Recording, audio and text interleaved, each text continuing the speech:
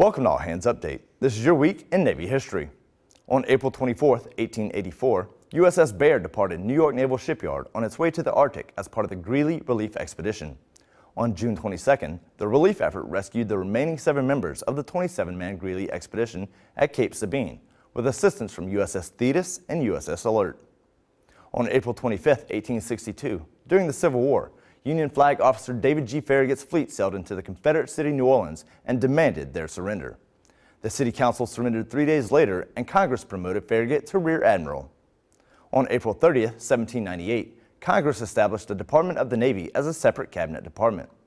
Previously, the War Department ran naval operations.